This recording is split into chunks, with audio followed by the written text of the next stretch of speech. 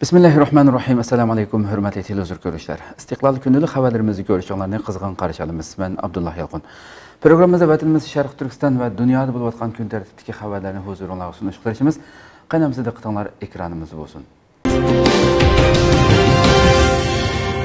Xitay bəyanatçısı Amerikanın hərəkətini uçuq aşkarı siyasi təhdid deyə bildirdi.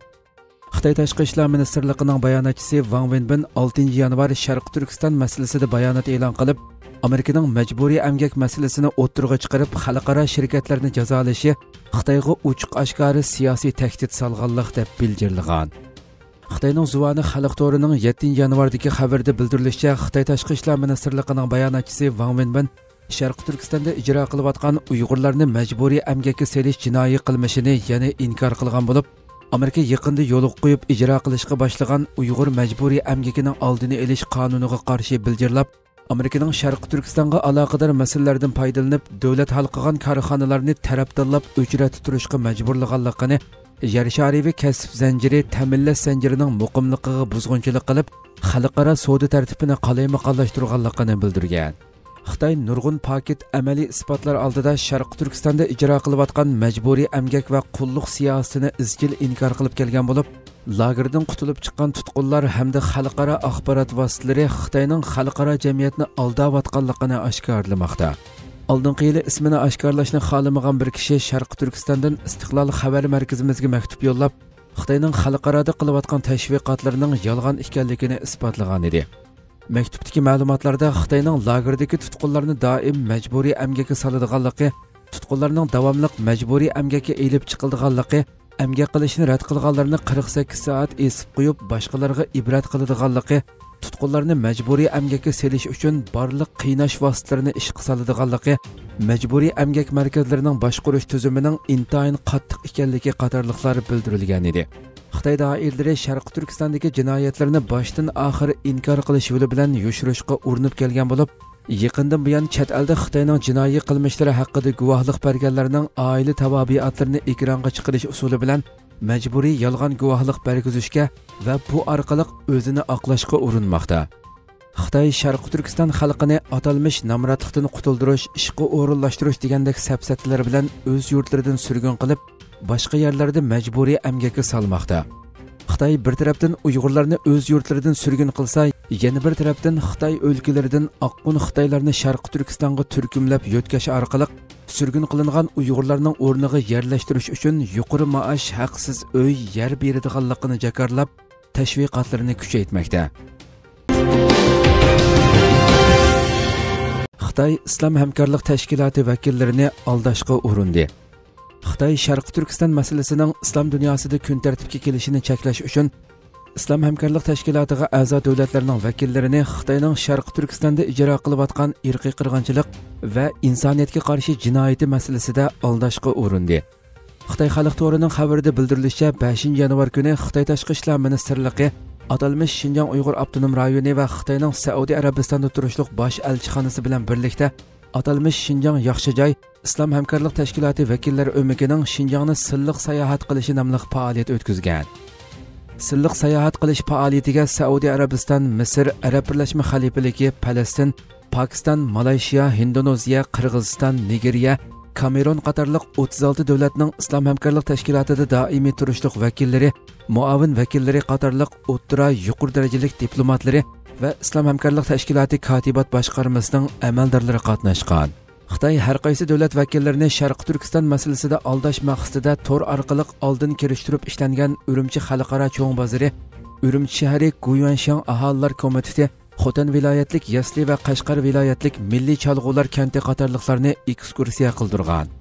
Undan boshqa butun dunyoda jazo lagerlari deb tunilgan va bu sababli xitoyga nurg'un jazo yog'dirilayotgan ammo xitoy rejimi hali ham e'tirof qilmasdan mazkur lagerlarni atalmish ta'lim tarbiya markazi deb atashdan to'xtamagan mazkur lagerlardan quyib berildi deb tunishtirilgan kishilarni ziyorat qildirgan. Xitoy amaldorlari to'r yig'inida yana nomussizlarcha xitoy azaldan islom davlatlarining yaxshi do'sti o'z davlatidagi musulmonlarning baxt saodatiga yuksak ahamiyat beradi deb bildirilgan. Xalqaro tadqiqot organlari xalqaroliq nupuzliq axborot organlari guvohchilarning o'ttirg'a qo'ygan po'latdak isbotlar qatorliqlar xitoy ilgari surayotgan barliq safsatalarning butunlay aldamchilik ekanligini navbatda xitoyning yo'lsizliklari har jihatdan elib aytganda xalqaro bo'yicha oldingi o'rinda turadiganligi bildirilmoqda. Xitoyning yer shari vaqti gezitining ikki ming o'n to'qqizinchi yili birinchi ayning oltinchi kundagi sonida bir dokulat e'lon qilingan bo'lib dokulatda Xitoyning 2017 yili 12 oyda islom diniga munosabatlik yangi bir qonun tuzib chiqqanligi va mazkur qonunning tuzilgan nusxasining Xitoy o'lkalaridagi islom jamiyatlariga tarqitib berilganligi tushuntirilib, mazkur qonunda 2018 yildan boshlab 2022 yilgacha bo'lgan 5 yil ichida Yevropa agentligining xabarida bildirilishicha, xalqning diniy erkinligi kundan kuniga bo'g'ilayotgan Xitoyda Shi Jinping boshchiligidagi Xitoy Kompartiyasi Qur'on, Injil va Budda nomlarining tafsirlarini xitoy kompartiyasining ideyasiga mos keladigan qilib o'zgartish uchun harakatga o'tgan. Bu doirada 2019 yili 11 oyda xitoy kompartiyasi doimiy hay'at a'zosi muavin bosh ministri vang yangning tashkillashi bilan diniy ishlarga aloqador suhbat yig'ini chaqirilgan bo'lib yig'inga xitoydagi diniy zotlarning vakillari taklif qilingan. Yig'inda diniy mazmunlarning xitoy madaniyati va kommunist partiyaning prinsiplariga uyg'un holda tafsir qilinishi kerakligi ta'kidlangan Xinhua agentligining bu yig'in haqidagi xabarida diniy kitoblardagi mazmunlarni xato sharhlamaslik, zarur tepilganda kompartiya ideyasiga mos kelmaydigan mazmunlar o'zgartirilib, Xitoy kompartiyasi ideyasiga moslashadigan qilib tafsir qilinishi kerak deb ko'rsatilgan. Qozog'istonda qo'lga ilinganlar sakkiz mingga yaqinlashdi. Qozog'iston ichki ishlar ministrligi bayonot e'lon qilib davlatda elib berilayotgan harakatda qo'lga ilinganlarning sonliq ma'lumotlarini e'lon qilgan bo'lib navbatda qo'lga ilinganlarning soni yetti ming to'qqiz yuz o'ttiz to'qqizga yetgan. Anadolu agentligining xabarida bildirilishicha qozog'iston ichki ishlar ministrligi bayonot e'lon qilib o'ninchi yanvargacha soqchilar tarafidan qo'lga ilingan kishilarning sonining yetti ming to'qqiz yuz o'ttiz to'qqizga yetganligini bildirgan. Bayonotda olmatudagi ichki bozorda 207 kishining qo'lga ilinganligi va bu harakatda 5 o'g'irlangan mashina va kompyuter chalg'u asbob va qurol qatorliq o'g'irlangan buyumlarning qo'lga tushirilganligi bayon qilingan. Qozog'iston davlat bexatarlik komitetimi olmatudagi namoyishlarni besiqtirish harakatiga qatnashgan bo'lib ikki guruhining tutilganligini xabar qilgan. Uchurlarda bu gruppalarning 4 va 8 yanvar kunlari shahardagi ommaviy tartibni qalaymaqonlashtirishni maqsad qilgan faoliyatlarga qatnashganligi va ular turayotgan joydan miltiq va diniy kitoblarning tepilganligi ilgari surildi. Maynat to'rining xabar qilishicha qozog'istonning muavin davlat mudofaa ministri sulton kamoliddinov va kollektiv bexatarlik shartnomasi tashkiloti tinchlik saqlash qismining qo'mondoni andrey serdyukov birlashma bayonot e'lon qilgan. Bayonotda kamoliddinov davlat vaziyatining muqimlashganligi va kontrol qilinganligini bildirib terrorlikqa qarshi turish harakati navbatda davomlashmoqda. Terrorchilar butunlay o'ldirilmaguncha harakat davomlashadi degan. Kamoliddinov yana kollektiv bexatarlik shartnomasi tashkiloti tinchlik saqlash qismining qozog'iston xalqini qo'llaganligiga rahmat aytgan. Bayonotda serdyukov yana qozog'iston ziminiga kollektiv tinchlik saqlash qismining o'rinlashtirilishining tamomlanganligini bildirib tinchlik saqlash qismining allaqachon muhim ma'muriy va harbiy rayonlarni kontrol qilganligini tinchlik saqlash qismining vaziyat butunlay muqimlashmog'icha harakatni to'xtatmaydiganligini aytgan. Yana bir tarafdan qozog'istonning vaqtliq ichki ishlar ministri yerlan turgunbayev bayonot e'lon qilib 2 yanvar suyuqlantirilgan gaz lpgning bahosining o'sishi va davlatning g'arbidagi ijtimoiy iqtisodiy vaziyatning yomonlashishi sababidan boshlangan namoyish yerlik hukumat binolari va qurollarni qo'lga tushirish bilan boshlanganligini 4 yanvar kuni namoyishchilar atrov qizil o'rda olmuta aqtubinsk jambul rayoni va semi qatorliq shaharlardagi yerlik hukumat binolarini qo'lga tushirib olganligini 5 rayondagi ma'muriy binolarga hujum qilishga uringanligini eskartgan turgunbayev bayonotda 2 yanvardan boshlab yuz bergan voqealarda 400 dan ortiq avtomobil 346 soqchi mashinasi vayron bo'lganligini kelib chiqqan ziyon 212 million dollarga yetadiganligini oshkorlagan. Germaniya ovozining xabar qilishicha qozog'istondagi voqealarda qazo qilganlarning soni 164 ga yetgan. Buning ichida faqat olmutudala 103 odam qazo qilgan. Qozog'iston miqyosida 2200 odam yaralangan. Qozog'iston hukumati mujmal sonliq ma'lumot e'lon qilib qazo qilganlar sonining 40 dan oshganligini buning ichida 16 kishining qurolli soqchilar ekanligini bildirgan. Ma'lum bo'lishicha, Qozog'istondagi namoyish 2 yanvar Qozog'istonning g'arbida boshlangan bo'lib, suyuqlantirilgan gaz LPGning bahosining o'rlishi va davlatning ijtimoiy iqtisodiy vaziyatining nacharlashishi qatorliq sabablar bilan davlatning boshqa joylariga kengaygan. Istiqlol televiziyamiz jurnalistlar kunida mukofotga erishdi.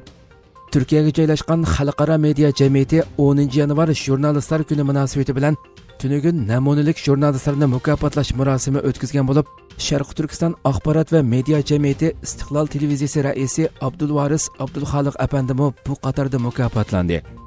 Istanbulning fatih rayonida o'tkazilgan mazkur marosimga ko'plagan xalqaro televiziya kanallari və axbarat orqanlarının vəkilləri, jurnalistlər, şundaqla Şərq Türkistan Axbarat və Media Cəmiyyəti İstiqlal Televiziyası vəkilləri təklifə binaən iştirak qıldı. Mərasimdə Xalqara Media Cəmiyyətinin rəisi Mətin Turan əfəndi cəmiyyətin təsis qılınışının məqsədi və bu qatımlıq yığılışının əhmiyyəti haqqında toxtulub ötdü. Arqadın TRT ərəbcə, BBC ərəbcə, Vətən, Şərq qatarlıq dağlıq kanallarının, şundaqla Anadolu Agentliqi ərəbçi bölümü qatarlıq axbarat orqanlarının bir qısım jurnalistləri mükafatlandı. Şərq Türkistan Axbarat və Media Cəmiyyəti İstiqlal Televiziyasının rəisi Abdulvaris Abdulxalıq əpəndimi İstiqlal ərəbçi bölümünün göstərdiyi xidmətləri səbəblik nümunəlik jurnalistlər qatarında mükafatlandı. Mukofotni abdulvaris apandiga vakolatan istiqlol televiziyasining turkcha bo'lim mas'uli muhammad ali atayurt topshirib oldi va qisqacha so'z qilib xitoyning sharqi turkiston xalqiga sistemalik irqiy qirg'inchilik yurgizayotganligini istiqlol televiziyasining navbatda zulmga uchrayotgan 35 million xalqning ovozi bo'lishga tirishayotganligini qayd qilib o'tdi va istiqlolning bu mukofotga loyiq deb qaralganligidan sharaf his qilganligini uyg'urlarning ovozini xalqaroga yetkazish uchun davomli tirishadiganligini bildirdi. Xalqaro media jamiyati asosliqi arab tilida xizmat qilayotgan axborot organlarining aloqa va hamkorligini kuchaytirish maqsadida turkiyada qurilgan tashkilot bo'lib sharq turkiston axborot va media jamiyatimi bu jamiyatning a'zosi hisoblandi. Xitoyda tunji qitim omikron nusxasi bilan yuqumlang'uvchilar bayqaldi omikron nusxasi bilan yuqumlangan tunji yerlik bemorlar xitoyning tianjin shahrida bayqalgan bo'lib bu virus kam deganda 3 avlod tarqalib yurgan. Bbcning xabarida bildirilishicha tianjinda bayqalgan omikron nusxasi bilan yuqumlangan yerlik bemorlar tunji qatim 8 yanvar atiganda bayqalgan bo'lib doktorlar yuqumlangan ikki kishini jazmlashtirgan. Shanba kuni butun bir kun ichida doirlar nuqtaliq gruppalarni tekshirgan bo'lib shu kuni kech soat 9 dan boshlab virus bilan yuqumlangan 18 kishi bayqalgan. Bildirilishicha tianjin beyjingga yaqin bo'lib beyjing qishliq olimpik tanarkat musobaqasiga bir oydan oz vaqt qolgan. Uning ustiga xitoy bu yillik chag'an bayramini kutib olish oldida turayotgan bir paytda xitoy virus yuqumining qayta o'rlash besimiga duch kelgan. Xonandagi yangi jazmlashtirilgan bemorlarning soni har kuni ikki hassa oshgan.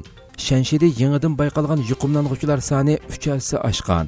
Xitoydagi virusning ko'payish ahvoli amerika va yevropa allaridek ko'p bo'lmasimi biroq ba'zi xitoy shaharlarining taqilishi sababli kishilar turmushda qulaysizlik yoki avarichilikqa duch kelgan. Undan boshqa tianjin va xonandagi nurg'un o'quvchilarga diagnoz qo'yilgan bo'lib xitoy doirlari oshkorlagan uchurga qaraganda tianjinda bayqalgan yigirma bemor ichida ko'pinchisi o'quvchi va ularning ota onalari bor ekan. Eng dastlab yigirma to'qqiz bolalar bog'chisi ishchisi va 10 yoshlik boshlang'ich maktab o'quvchisining yuqumlanganligi jazmlashtirilgan. Hurmatli televizor ko'ruvchilar shuna qilib bugungi xabarlarimiz mushu yerda oxirlashdi. Inshaalloh atigi xabarimizni ko'rishgacha sizlarni janobiy allohga topshiramiz.